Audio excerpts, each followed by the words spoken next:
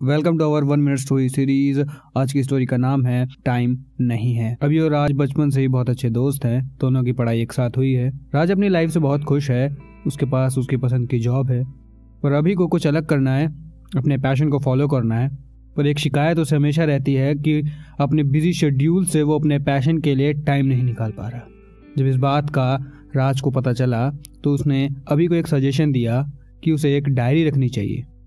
और पूरे दिन की डिटेल्ड बातें उसमें लिखनी चाहिए। इस बात से अभी को गुस्सा आ गया और वह बोल पड़ा कि वैसे ही पैशन के लिए मेरे पास टाइम नहीं है, तू एक और काम जोड़ रहा है।